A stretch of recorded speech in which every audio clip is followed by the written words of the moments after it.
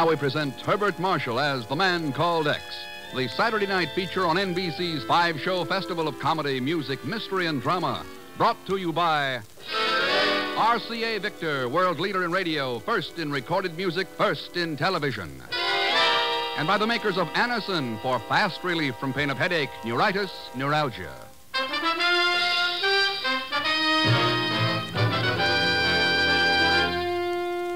Herbert Marshall as the man called X.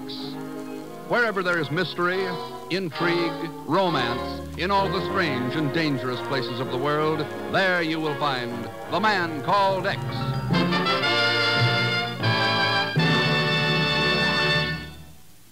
Here's a word from RCA Victor. Big as life and just as natural.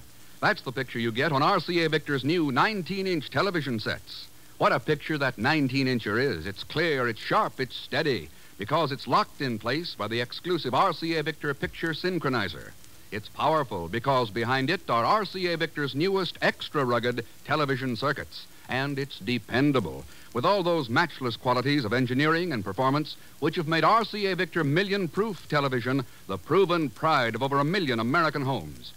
Your RCA Victor dealer will be pleased and proud to introduce you to four models of RCA Victor 19 inch television the York, a compact, inexpensive table topper, the Hillsdale and the Northampton, two glorious consoles with cabinets so beautiful you'd think the price applied to the cabinets alone, and the Sedgwick, the 19 inch television radio phonograph combination.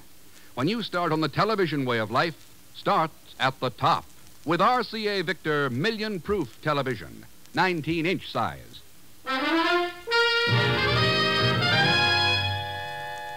It was in 1945 in the concentration camp at Mauthausen, Germany, that the man called X first learned of the existence of the Himmler plates.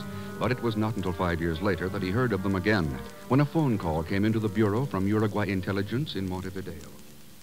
I tell you, Senor Thurston, there can be no mistake. What about the scroll work, Inspector Brizas? Well, there are slight irregularities in the lower left-hand corner. And the serial numbers? The figure four is closed rather than being open. Thanks for informing us, Inspector. I'll join you in Montevideo in 24 hours. Bueno, Senor Thurston. Hasta la vista. Adios, Inspector. Chief, they've turned up again. Hmm? The Himmler plates. The Himmler plates? Good Lord, Ken. I see you remember them. How could I forget them? Why, those Nazi engraving plates turned out the most perfect counterfeit American $50 bills ever made. That's right. Hitler's gang used millions of dollars worth to buy war materials from neutral nations. But, Ken, we found records stating that the plates had been destroyed. What if the records were faked? And the Himmler plates were smuggled out of Germany? Yeah. If they were, this would be a job for Treasury, not for the Bureau. The inspector says the bills are being passed in Montevideo by a bureau agent. Hmm? Well, that's impossible. We don't have any men assigned down there. That's right, Chief. Miss Brooks, book passage for Ken Thurston on the first plane from Montevideo, Uruguay. Thanks, Chief. I'll be seeing you. By the way, uh, want me to give your regards to Pagon? Pagon? What's that chiseling crook got to do with this? Oh, didn't I tell you? Our non-existent agent down there is Pagon Zellschmidt.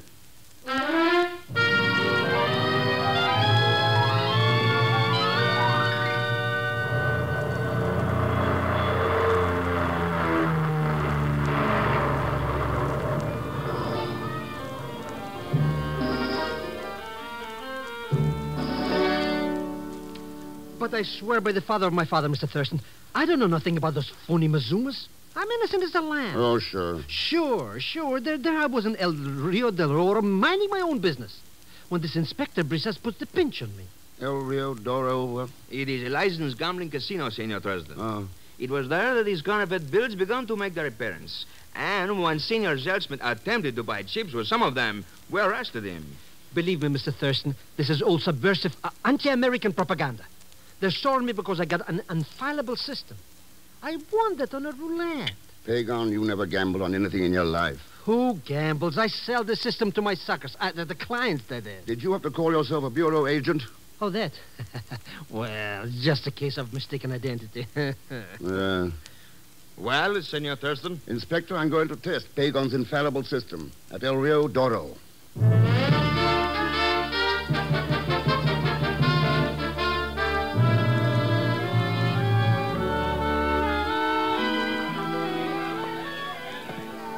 Gambling joint, eh, Mr. X? Believe me, Las Vegas is only a hole in the carpet next to this place. Hey, uh, and, uh, and look at that scenery. Quiet, you idiot. Oh, but I know her, Mr. Thurston. Yes, I do. Her name is Anna. Look, she's coming over now. Sometimes I don't know how I do it. Really, I don't. So there you are at last, Senor Pagon. I have been desolate waiting for you. Well, that's the way it goes sometimes, my little cucaracha. Uh, us busy business type executive, you know. Uh, perhaps I will forgive you then, if you will introduce to me your Americano friend. friend? What friend? My name's Ken Thurston, senorita. Oh. Ah, if you are going to play the wheel tonight, Senor Thurston, why do you not join me? I have a strange feeling it would be most fortunate for both of us if you did so. I'd be delighted. Me too, But you I've a little business to discuss with the cashier first. May I join you later? But certainly, at the second wheel to the right. Second wheel to the right. Bueno. Until later, then, Senor Thurston. Oh, you bet, you bet. We'll see you later, Mr. Thurston. Now, like I was saying, my little... Um, could you change these hundred dollar bills for me, please? But of course, senor. In pesos? Oh, American dollars, fifties. I regret, but we do not have any on hand at the moment. Perhaps 20s or 10s? Fifties will do. And the next time, close your cash drawer first. Then maybe I won't see them. It is impossible for me to give you those $50 bills, senor. Any other denominations, I should be happy to. All right, to... Juan, give the gentleman what he wants. But, senorita, Let please- him have the 50s. There you are, senor. Thanks, Miss Wilson. Some Americans seem to have more pull around here than I have. I own this place. Well, well, that's a partial explanation. You can have the rest of it in my office if you'll wait till you get in there before you examine those bills, Mr. X.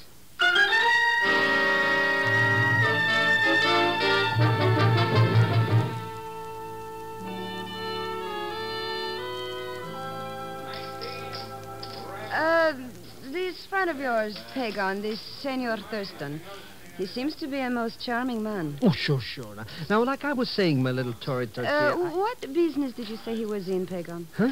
Business? Whose business? Senor Thurston. Oh, oh, him. Who cares? I just let him follow me around for laughs, you understand? now, like I was saying, uh, there's a cozy little nook down the coast, Oh, and I... perhaps later, muchacho. But now I feel very lucky for roulette. So be a darling, Pagon. Buy me some chips with these, huh? Hey, this is an American 50. See? Stand right where you are. I'll be back in a couple of jippies. Bueno. La cucaracha, la cucaracha, ya no puede caminar. One porque- moment, please, my friend. Huh? I should like a word with you about the money you have in your hand. I got no time to talk about money. I... Hey, hey, hey, that's a gun. You are quite correct, Zellschmidt. It is a gun. So let us take a little walk, my friend.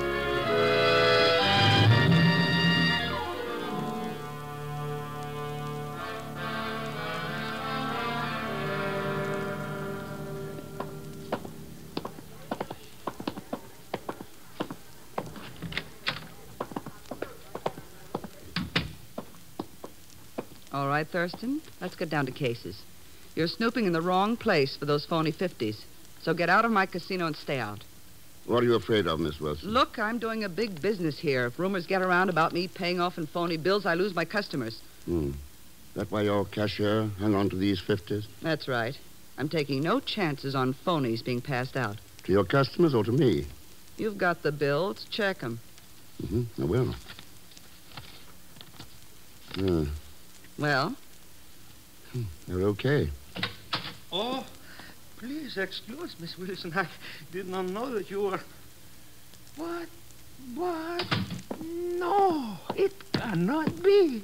You are. You are Ken Thurston. That's right. Of course, I could not be mistaken. Do you not remember me, Mr. Thurston? Wait a minute.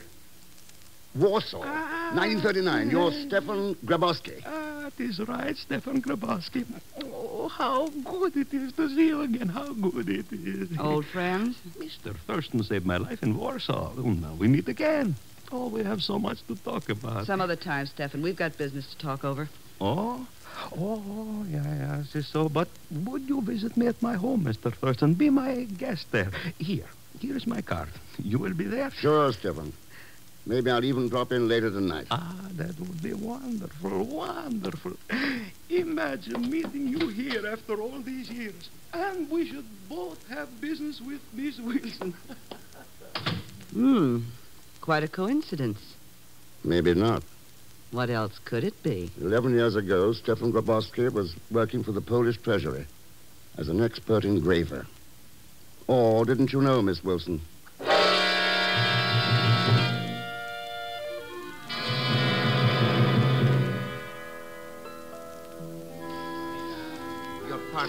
You are Mr. Thurston. That's right. And Mr. Zellschmidt left a message for you. Oh? He says it is very important that you join him at once.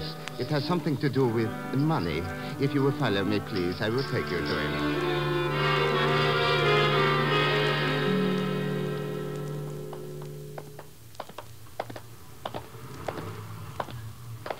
Here we are, Mr. Thurston. He's waiting for you in this car. Oh, now, wait a minute. You will put up your hands, senor, and seguido. Well, And listen to me. I will speak only once. You will make no further effort to contact the one who has the Himmler plates. Furthermore, you will get out of Uruguay within 24 hours. you almost sound as though you mean that. Believe me, I do. Mr. X. Uh,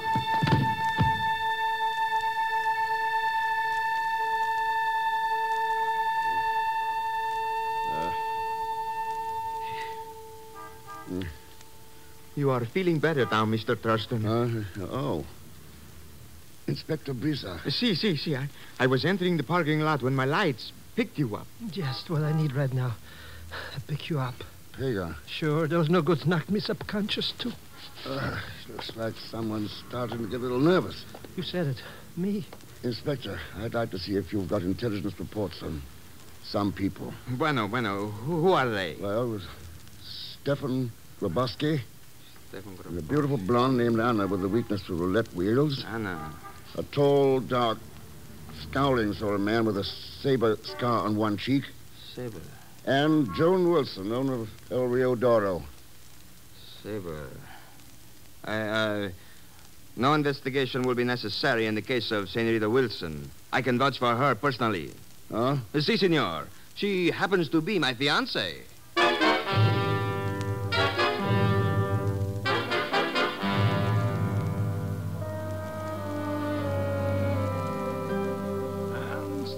My story, Mr. Thurston. Warsaw, concentration camp, Uruguay.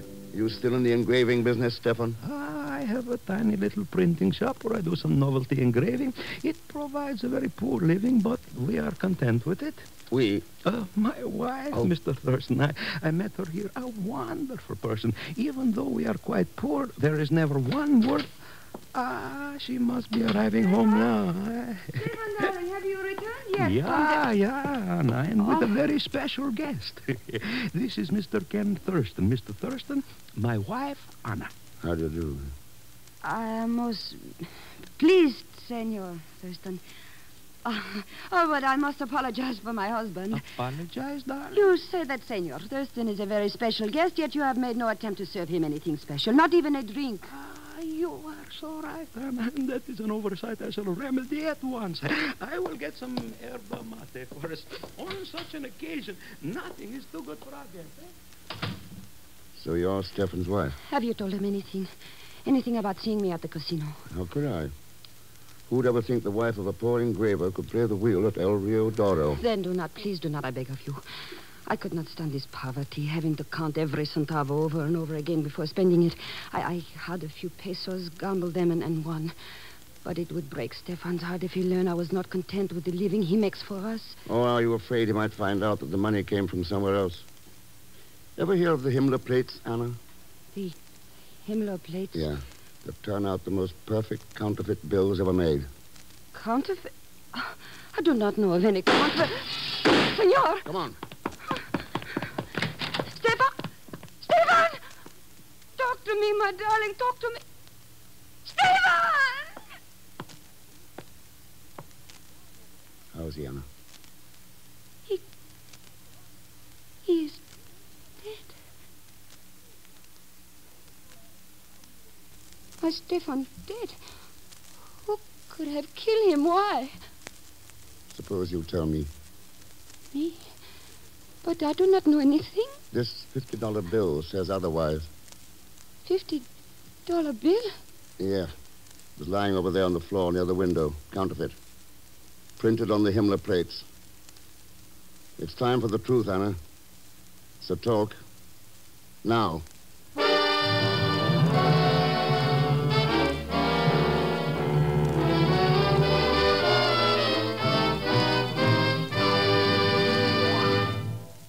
We will continue with The Man Called X in just a moment. Every day you hear more and more about an incredibly fast way to relieve the pains of headache, neuritis, and neuralgia. It's Anacin. A N A C I N. Now, the reason Anacin is so wonderfully fast acting and effective is this Anacin is like a doctor's prescription. That is, Anacin contains not just one, but a combination of medically proven active ingredients in easy to take tablet form.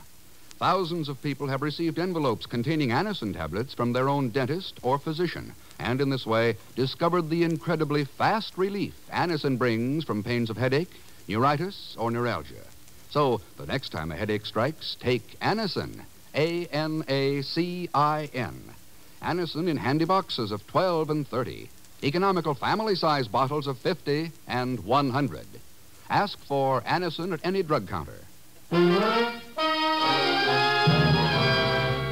Now, Act Two of The Man Called X, starring Herbert Marshall, with Leon Belasco as Pagon Zellschmidt.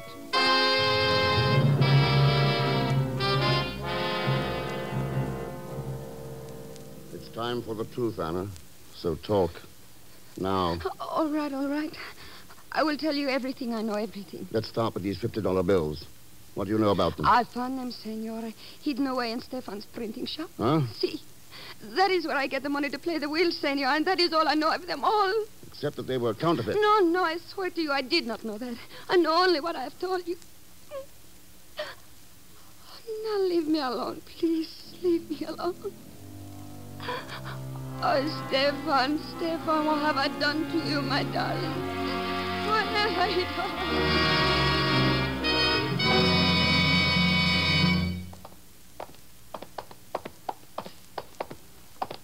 Here is Grabowski's printing shop, Senor Trostan.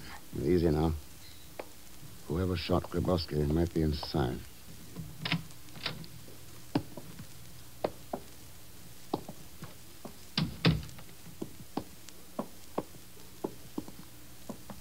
Ah, What is it, Senor? look here, Inspector. An electrolysis vat. Electrolysis vat? It's a way of putting a thin coating of metal over other metal. And here, some pieces of pure copper. And I'll bet this stuff's copper sulfate. Does this mean something to you? I don't know. But I got an idea. Senor! Yeah. Someone's in that back room. Come on.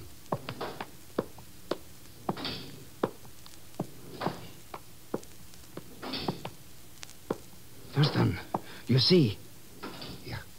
Yeah. He's printing money. Bills of some kind on that hand press. Yeah. Mind if we take a look at those bills? Stand where you are, senor, or I fire. What is this? Who are you? You've a pretty short memory. I'm Thurston, the man you slugged out in the parking lot, remember? But of course. This saber scar on the cheek. Yes. Keep him covered while I take a look at this printing job.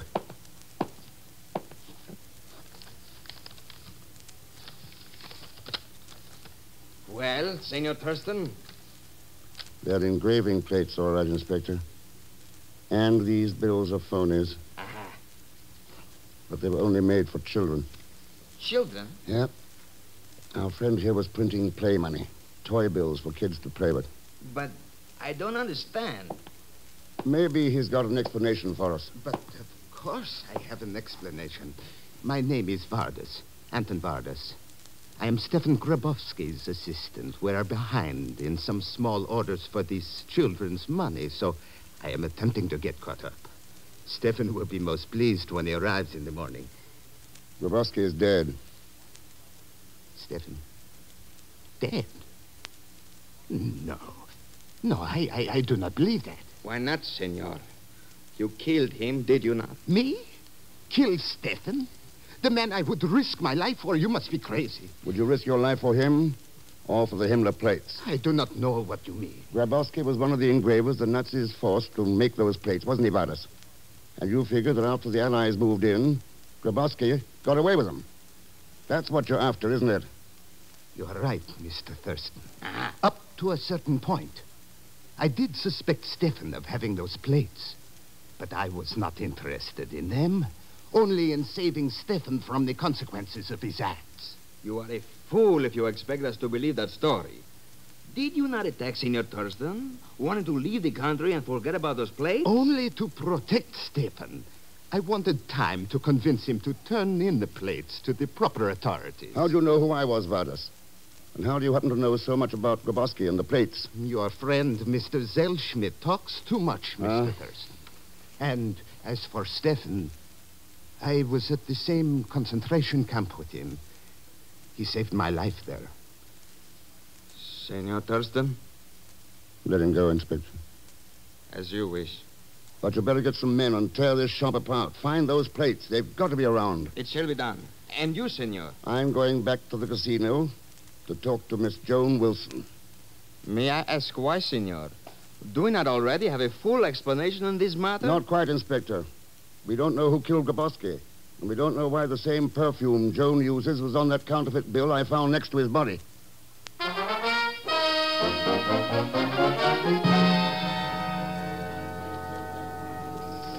I haven't got time to talk to you now, Ken. Why not, Joan? Too busy looking for counterfeit 50s or trying to pass them? We went round and round about that once, didn't we? We didn't go around far enough. Stefan Grabowski interrupted us. Well, he won't interrupt us again. Won't he? He's dead, isn't he? How'd you know about that, Joan? Look, Thurston, there's no sense in our putting on the gloves every time we meet. I think you and I could get along okay together under the proper conditions. Suppose you name him. I will. Come to my party tonight. Party. Yes. I give one every year about this time for some of the people without countries who are living here in Montevideo. I'm one myself, and it makes me feel better to throw a shindig for them. Okay, Joan. I'll be there. Good. It's number 17, El Calle Grande. 17 El Calle Grande. Right. See you later, Ken. Yes. Oh, you, Mr. Thurston. Mr. Thurston. What's all the excitement about, Pagan? Boy, did I ever dig up some dirt for you. It's plenty hot stuff, believe me. What did you find out? Well, there's a big foreign agent in town. Yeah, yeah, that's right.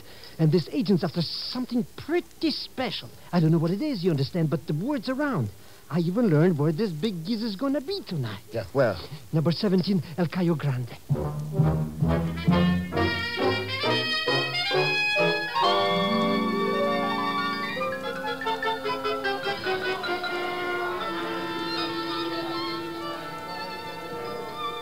Are you enjoying my little party, Ken? Yeah, it's nice to be among friends so far from home. But I didn't know you were acquainted with Anton Vardas, or with the recently bereaved but now quite gay widow, Anna Grabowski. I know most of the regular customers at my casino. That still doesn't explain how you knew who I was, or how come you knew of Grabowski's murder. What good is a fiance, darling, if you can't learn things from him? Yeah? Did Vizar tell you about the perfumed counterfeit bill I found next to Gr- Grabowski's body? Mm, there's no mystery about that. Stefan had done a little printing job for me. I paid him in cash. That bill must have been with the ones I gave him. You got all the answers, haven't you, Joan? That's right, Ken. All the answers.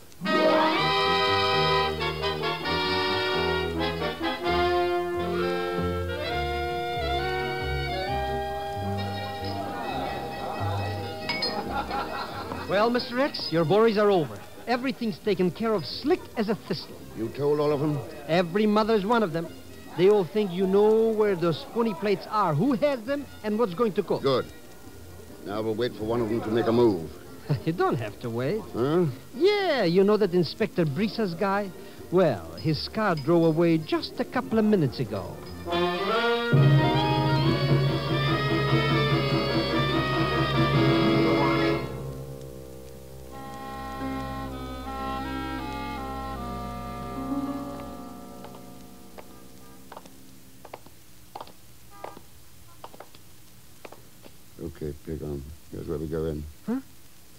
Said Inspector Brisa's already gave this print shop a once over. What are we here for? To find a killer. Ooh.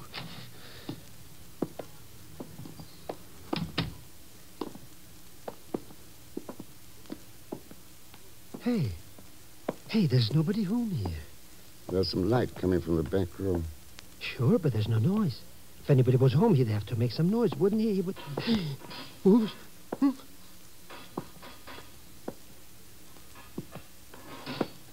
Mr. Look who's there. Yes. But but what's going on with that printing press thing? The engraving plates are being removed from the hand press. Plates?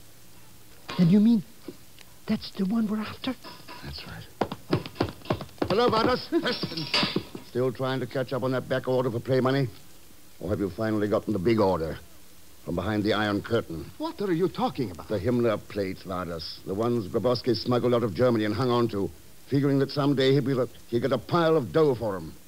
Well, with the present mess in the world, the time got ripe, didn't it? Are you crazy, Thurston? I do not understand what you're talking about. The Nazis planned to use that counterfeit money to buy war materials from neutral nations. What one bunch of gangsters could do, so could another. Only Stefan's mistake was in thinking your country would pay him real money for them. Instead, you paid him off in lead. Mr. Rex, you mean this guy is the one who bumped off Grabowski? There's the proof in his hands, Pagon. Oh. The Himmler plate. Now I know you're crazy. You saw with your own eyes that these engraving plates only printed play money for children. That's what it looked like, yes. But the electrolysis equipment tells the real story. That plus these bottles of etching acid. You were printing that play money with plates made of a thin sheathing of copper over a wax base. But beneath the wax, well protected and intact. That's enough. Stand where you are, both Mr. of Rex. Oh, I see it, Pagon. Yes, you are quite right, Thurston. The real Himmler plates are underneath these. Unfortunately, you will never live to see them with your own eyes. I wonder if you will either. Drop that acid, you fool! Okay, Vardas, here. No! Uh, you dirt! Uh, Boy. Oh, what a smackaroo. Hey, tossing that acid stuff at him sure did the trick, Mr. Rex. Yeah. Yeah, I guess it did. So now, now we got the counterfeit plates, and those no goods didn't get away with nothing. But it sure was some clever gag of hiding them, eh, Mr. Rex? There's a lesson to be learned from that, Pagon. Yeah? Yep. Whether it's engraving plates, counterfeit bills, or ideas. They can look legitimate enough, even pass for the real thing. But underneath, they're as phony as they can be. And that's why we've got to be on the watch for them, always. Or we'll find ourselves winding up with a counterfeit world.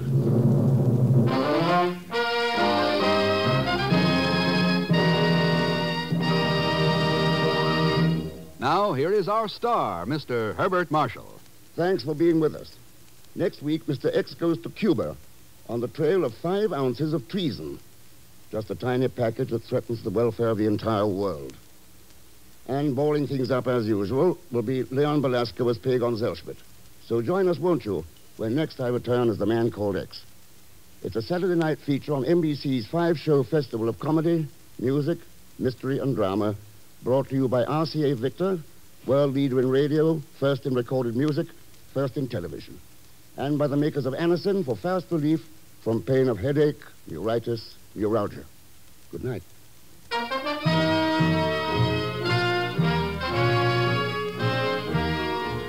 The Man Called X, starring Herbert Marshall, is a J. Richard Kennedy production, with music composed and conducted by Felix Mills. Tonight's story was written by Sidney Marshall. In tonight's cast, you heard Joan Banks, Maggie Morley, Will Wright, Stan Waxman, Daws Butler, and Lou Merrill.